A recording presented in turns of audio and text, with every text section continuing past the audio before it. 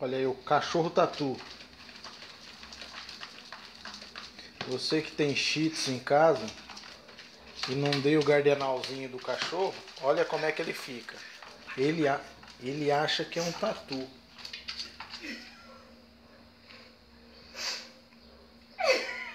Ele acha que é um tatupeba. Cheetos, se você tem um Cheetos em casa e não dá o gardenal dele, olha, ele acha que é um tatu. Né, Billy? Né? Tudo isso é pra se esconder, pra não tomar banho. Viu? Tá bom. Billy, o cachorro tatu